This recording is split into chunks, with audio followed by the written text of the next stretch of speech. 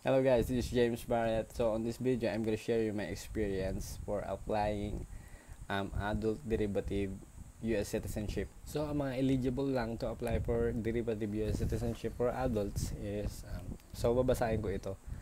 Applicants 18 years old and over, born outside the United States, may claim US citizenship through his her biological parent, who at the time of the applicant's birth was a United States citizen. So, pwede lang to sa mga applicants na ang parents nila ay US citizen bago ipinanganak. So guys, ang experience na i-share ko sa inyo is ang American citizen is yung dad ko. Um, I think um, kapag yung American citizen is your mother, I think it's a different case. So I think you should read uh, some articles about that.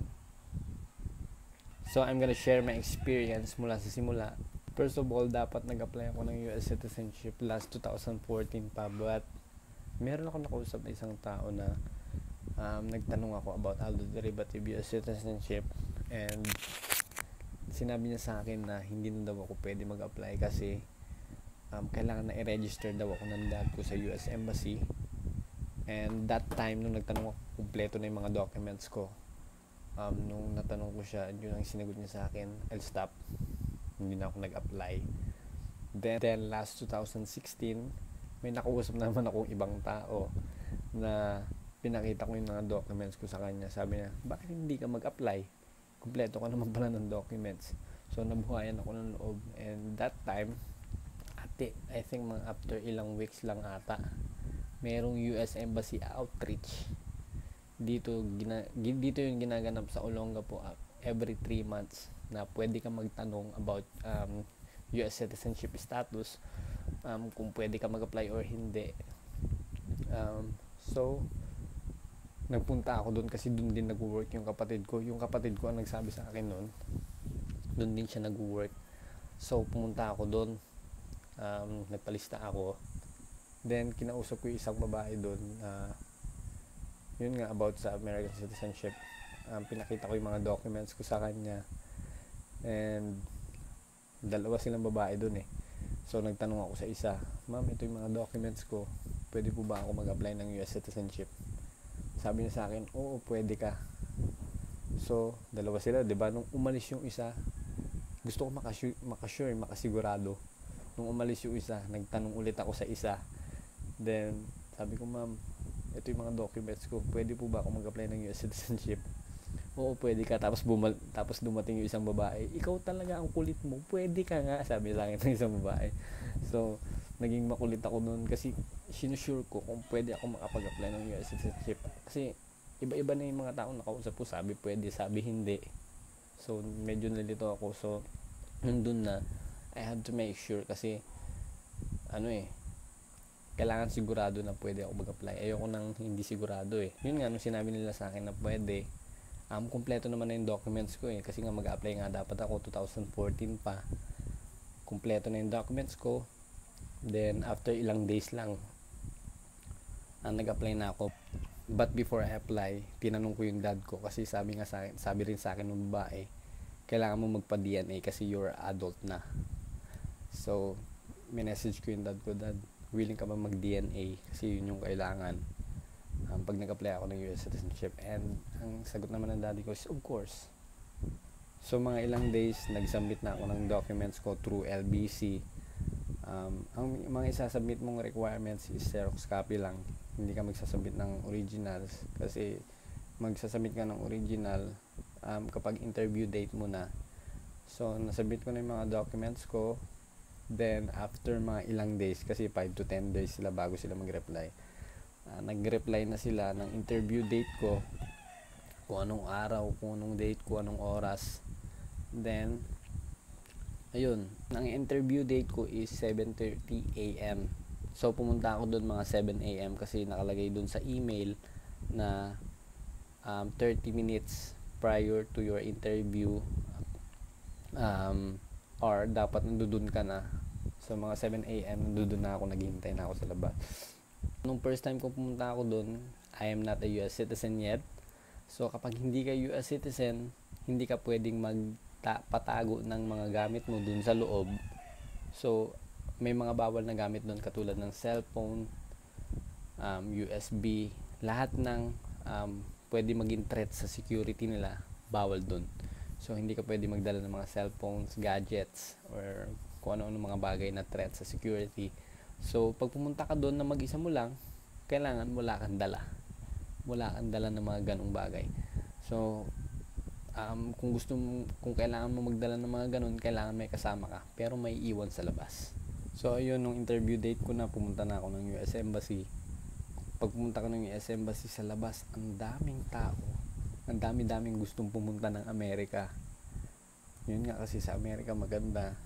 So, ang dami nangangarap ang daming tao sa labas. But meron kang interview date meron kang oras kung ano interview mo. So hindi mo aalalahanin yun. I think yung mga nasa labas is yung tourist ata. Pero hindi ako sigurado. So pumasok na ako sa loob.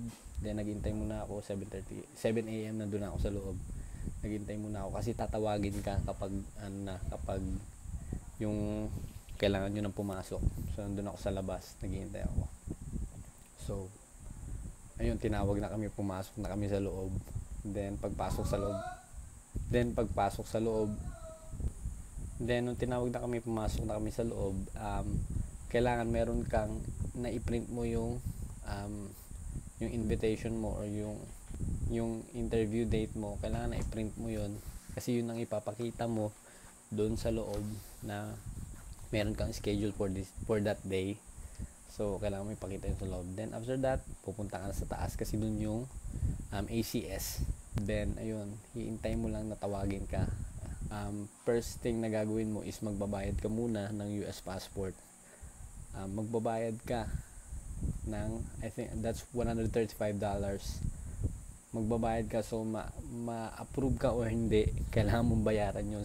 Then, after that, pupunta ka sa Air 21, magbabayad ka din para sa shipment ng US passport mo. So, approve man o hindi, kailangan mo magbayad ng $135. So, after ko magbayad, umupo ulit ako. Then, inintay kong tawagin yung pangalan ko. Then, nung tinawag na yung pangalan ko, so may mga, mga windows doon eh. Window 1, 2, 3. So, tatawagin ka naman kung anong pa, tatawagin naman yung pangalan mo and anong window ka. So, yun, tinawag na yung pangalan ko. Then, pumunta na ako doon sa window. So, uh, may mga dala akong documents. Sabi, buksan mo yan. Then, binuksan ko na isa-isa. Then, binigay ko dun sa nag-interview. So, yung nag-interview nga sa akin, yun din yung napagtanungan ko dito sa Olonga po. So, sabi niya, sabi niya dun sa katabi niya, ma'am, ito na yung, ito yung makulit to. so, yun. And, napakadali lang naman ng mga tanong. So, mga basic, basic question lang sa una. Mga basic lang. Kasi dalawa yung nag-interview sa akin. So, una, yung Pilipi, Pilipina um, mga basic na yung mga tanong kailan ka pinanganak? Kailan yung pinanganak yung daddy mo? Paano sila nagkakilala ng mama mo? Ganun ganun mga basic na tanong lang. Kasi doon naman yung mga documents. So nung first interview ko okay lahat ng documents. Walang problema. Then natuwa na ako. Parang walang problema. Then after that pinaupo ulit ako. Then nung pag-upo ko ang tagal ko naghintay halos mga isang oras mahigit or dalawa um, yun tinawag na ulit ako sa isang room na. Um, ang kausap ko na is yung kana na Amerikana na. Sabi niya sa akin um, kasi there are three main issues for applying adult derivative US citizenship. Ito yung sinabi sa ito yung tatlong yun. Um, there are three main issues needed to be to be resolved in applying for adult derivative citizenship these are first one is physical presence of American citizen father in the US legitimation number two. Then number three filiation. So sa physical presence of American citizen father wala akong problema. Kasi um, dun siya ipinanganak. American citizen na talagang daddy ko. Simula nung pagkapanganak. Then nagka problema ako sa legitimation kasi merong important document sa legitimation in my case. Ang important is dapat nakapirma siya sa birth certificate mo and meron isang document na um, nakapirma din siya na susuportahan niya ako hanggang mag 18 years old ako. So, ang problema is meron siyang pirma dun sa document na yun. But ang problema is walang date. So, kailangan may date daw yun kasi paano nila malalaman kung kailan mo napirmahan kasi dapat bago ka mag 18 years old na pirmahan yon So, paano nila malalaman ngayon kung kailan pinirmahan yun? So, kailangan mang date, may date. So, nalungkot na ako noon that time. Sabi. Pero sabi na sa, sa akin na kana, however, um, ipasa mo tong mga document na to. Ang document na yun is proof of my dad payments prior to my 18th birthday. So, yun yung mga resibo ng padala ng daddy ko na talagang sinuportahan niya ako bago ako mag 18 years old. So, nabuhayan ako ng loob kasi kumpleto yung resibo ng padala ng daddy ko. Um, pero sabi sa akin ng Amerikana, but I cannot guarantee you kasi it's a different case. Um, first time lang namin to ma-encounter. So, umuwi ako na napakalungkot nun. Ang lungkot-lungkot ko. Kasi 3 days ako stress nun. Kasi, ayun na eh. Tapos, bigla pang mawawala. So, pagka-uwi na pagka-uwi ko from Manila to Olongapo, pinasa ko kag um, pinadala ko kagad sa LBC yun. So, after 3 days, tumawag sa akin yung US Embassy.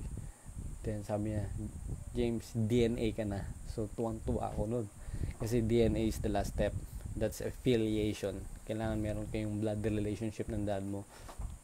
So, nag-message na ako sa daddy ko na dad, DNA na ako. Pinorward ko sa kanya yung email ng US Embassy.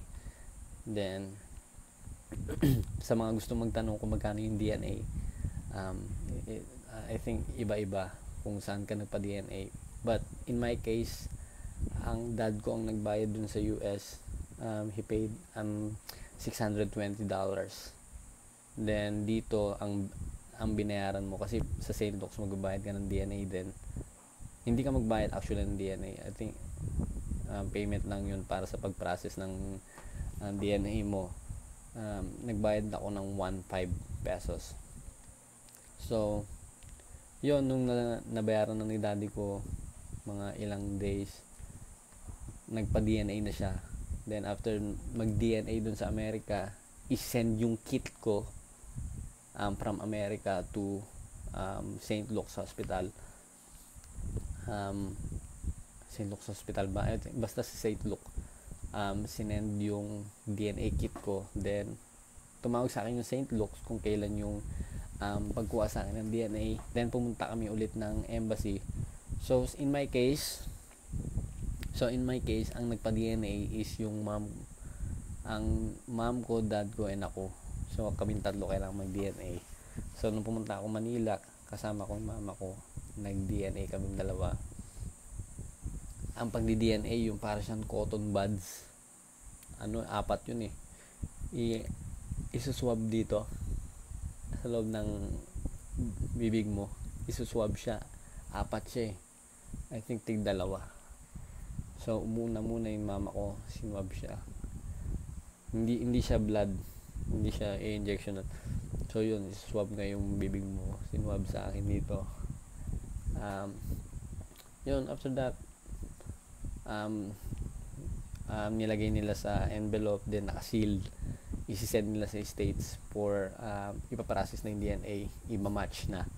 Then nung na-process na sa states um, I think mga ilang, mga ilang linggo din eh. Um, marireceive ng dad ko yung result kasi siya yung nagbayad doon so yun hinihintay na lang namin ng dad ko yung email Then, nung na-email yung daddy ko, tuwang-tuwa ako nun eh. Kasi, nakalagay sa, nag-email yung daddy ko sa akin. Sabi niya, here's the result, my son. Ang laki-laki pa ng son. So, tuwang-tuwa ako. And, napakasarap ng feeling na um, nung nag-DNA kayo is match talaga. So, siya talaga yung tatay ko. And no doubts. So, tuwang, and yung mom, mom ko and siya din yung mom ko syempre. And no doubts. Then after that naging tuloy-tuloy na kasi that's the last step yung DNA so um, naging positive. Then yun after mga 3 weeks or 2 weeks I think na-receive ko na yung US passport ko. And grabe ang saya ko nun. And ito na nga yung US passport ko na-receive ko na siya. So grabe yung tuwa ko noon nung na-receive ko tong passport nito kasi at last makapunta na ako ng Amerika and makikita ko na yung dad ko so napaka-importante sa akin nung hindi na importante sa akin kung makapunta ng Amerika eh. Ang pinaka-importante talaga sa akin is makita ko yung dad ko. Yun yung pinaka-importante sa akin. Kasi malaki na ako, eh, may work ako. Okay naman ang buhay ko dito. Kaya hindi ko na rin masyadong pinangarap yung Amerika o makapagtrabaho doon or what. And yun lang, talaga makita ko yung daddy ko kasi hindi kumpleto ang buhay kapag hindi mo talaga nakita yung father mo eh um, may something, may kulang. So, talagang naiyak ako nung nakita ko, nung na-receive ko rin tong US passport ko. And, hindi ko pa nga pala nasasabi sa inyo na meron akong kakambal. So, nung na-receive ko yung US passport ko, mga ilang months or weeks lang ata, in-apply ko na rin yung kambal ko. So, syempre, parehas lang kami ng documents. Then, pagdating namin sa US Embassy, um, ayun, the same process. Pero, ang pinagkaiba is hindi na kami nag-DNA kasi hindi naman na daw kailangan kasi kambal naman kami. Kitang-kita naman sa mga pictures, sa mga ano-ano. Um, hindi na kami nag-DNA so thanks God. Kasi pag nag-DNA, another, nung una nagbayad kami ng 620 and for pangalawa, dapat magbabayad kami ng $420. So, nakapag-save kami ng $420. So, after 2 weeks, um, na-receive na ng kapatid ko yung US passport ko and tuwang-tuwa din siya and US citizen na kaming dalawa so ayun. Sana na-share ko sa inyo yung nang maayos yung experience ko about applying for adult derivative US citizenship. Um, kung meron kayong mga tanong I will link my Facebook account to the description box. And pwede nyo akong i-message. Meron akong friend na the same situation sa akin. Nung chinek ko yung mga documents niya okay din. So, nakita niya naging US citizen ako, um, soon mag-a-apply na rin siya. And nagtanong din kami sa US Embassy Outreach din na naganap dito sa Olongapo nung nakaraan. And sabi nga okay daw siya. So, masaya din ako para sa friend ko kasi um, pwede na rin siya maging US citizen pag natapos yung process niya. So, thank you for watching my video guys. Um, so, please check my other YouTube channel below. Um, again, if you have any questions, you can ask me. Um, I'm gonna link my Facebook account to the description box below. So um, you can message me and I'll reply as soon as possible. So thank you for watching my video guys. Have a nice day and see you in my next video.